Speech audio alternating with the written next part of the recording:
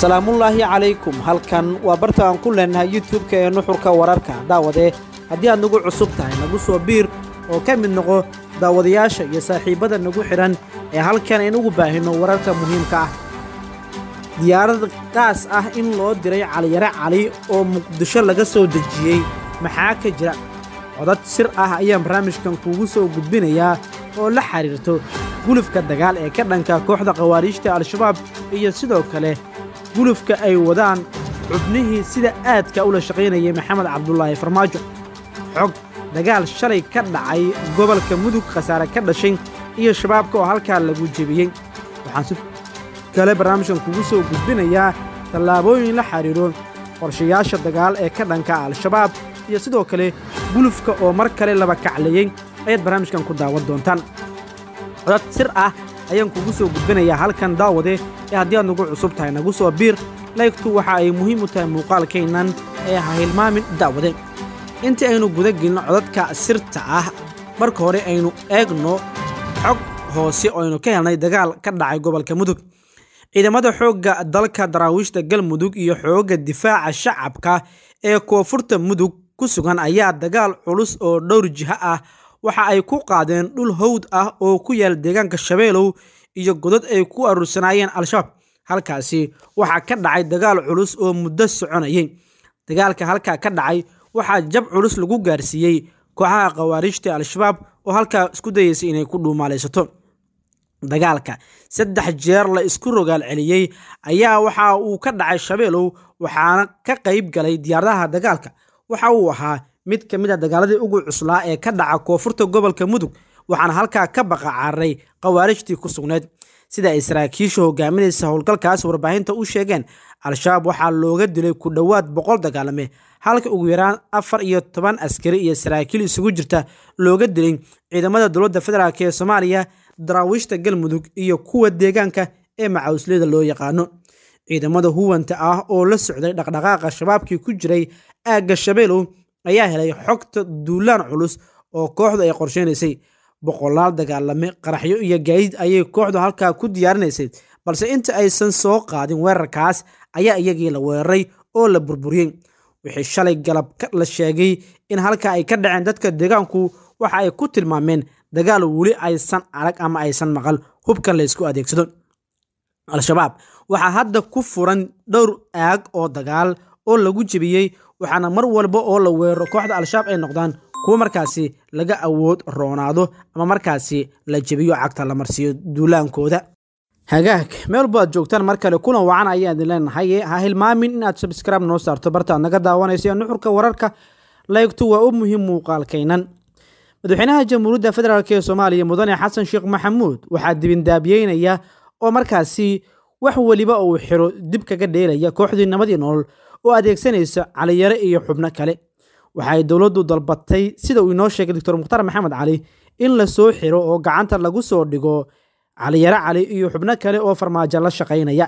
Aada iyo aada loo awoodaa anigana adeerkay hadduu yahay ama adigana adeerkaa yahay oo dadki uu ka dhashay uu maaragtay uu dhabar jebinayo oo uu la shaqaynayo dad dadka qalanaya waa la soo xirayaa.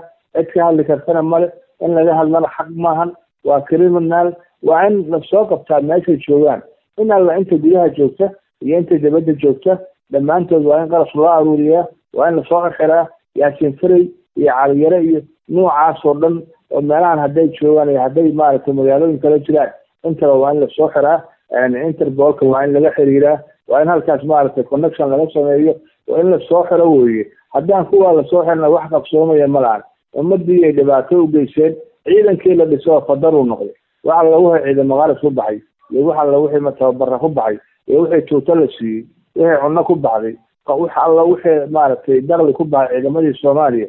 Kulligood maaragtay shabaab ay ahaayeen shabaabka ayay tababari jireen. Marka waxa weeye waa criminal weeye waa dembile waxa weeye inta badan waa ogahay dadka reer muqdisho codkoodu dibadda qaramada midoobe midna ma tagaan inay qaramada midoob tagaan rabaa dadku afka kala qaadaan qareemo la qabsado la soo taago maxkamad inta gudaha joogtana in la soo xirxiro nin ka hadli kara ma lahan. Kulligood waa inta inta maaragtay xabsi in la soo dhigo weye maxkamadana toos loo saaro. Saa inuu wadan weeye dalkay ka soo horjeedaan ee dadka cadarkooduna waxaan ba is leeyahay waa toogashay ku imaanayaan. Dadkay dileenna loo qabsado hantiday dhaceenna loo qabsado ilmahay gateenna loo qabsado ilmaha la leeyahay waa la gato keliyaha lagala baxay. Waxa weeye xilligii farmaajo iyo iyo taay joogeen ayay u badan tahay. Waxa weeye marka kulligood waxa weeye waa criminal weye waana dil toogasho in la soo qabto hayo la isku dardaro maaragtay dawladdu ay maaragtay iska xil saarto oo guddi qubaraha loo xil saaro ayaan soo jeedinaya waa tahay. Caliyare cali iyo xubnaha qaar ee hadda lagu tumayay in ay dowladda federaalk ee soomaaliya lid ku yihiin oo ay shabaab u garbaynayaan.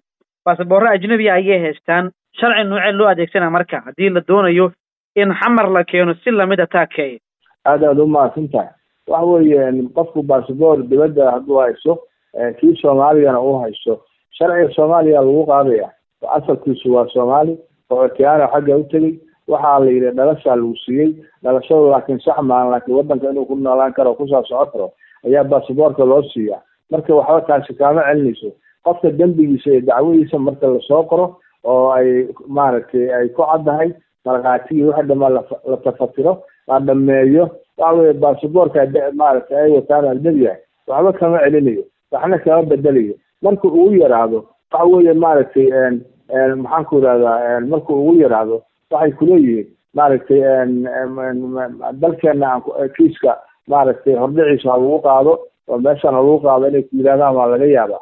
Laakiin soomaali adduunku dankama lahan ninka wadankiisa jaajuusaya ayaga laftigooda ma rabaan mana doonayaan wadankiisa nin jaajuusaya u dhasho maaragtay uu ku noolaa oo ehelkii ku noolyaa ninka jaajuusaya ayaga laftigooda dan uma hayo waana fahamsan yihiin. Soomaalidana ciddan kale male hadda waxa weeye taakaya waxaa keenay dowladda kenya ayaa soo dhiibtay marka sidaas oo kale dadka noocaas oo la shaqeeya argagixisada waxa weye raadkooda haddii maaragtay la dhiibo waa la soo gudbinaya wax dhibaataana male waxa weye hadda maaragtay ragga xamar jooga ama soomaaliya jooga xabsiga dhexaa lagu xiraya halkana maxkamad lagu saaraya. Basaboorkana waa la tuuraya ajnabiga. Waxa weye baddaa lagu ridaya wuxuu gala male sharciga soomaaliya lagu qaadaya. Saasaa la samayn karaa. Qof qabiil uu yahana male aniga walaalkay hadduu yahay ninka cadowga la shaqeeya nooc walba ha ahaadee waxa weye kama daba hadlayo. Ilaa isaga waa dembile waa criminal. Wuxuu dilaya waa aniga iyo ilmahayga iyo ilmihiisa. Marka waxa weeye qof criminal oo dalkiisa ruufiyaan ku eh oo jaajuus ah waxa weeye maaragtay aadriya adduun midna ma faa'iidayo waana sharci in la maxkamadeeyo in xasan sheekh ka xishoodana maahan in maaragtay laga warwareegana maahan waxa weeye waxaa rabaa wasaaradda amnigu inay gacanta ku soo dhigto oo meelaha ay joogaan ay ka soo xirto kuwa gudaha jooga kuwa dibadda joogana. Interbolka loo adeegsanaya duluuska interbolka qaybaha noogu jira ayaa dacwadihii loo dhiibaya ayagaana soo qabanaya. Halkan. Waa barta aan ku leenahay youtube-ka ee nuxurka wararka. Haddii aad nagu cusub tahay nagu soo biir. Amaana allah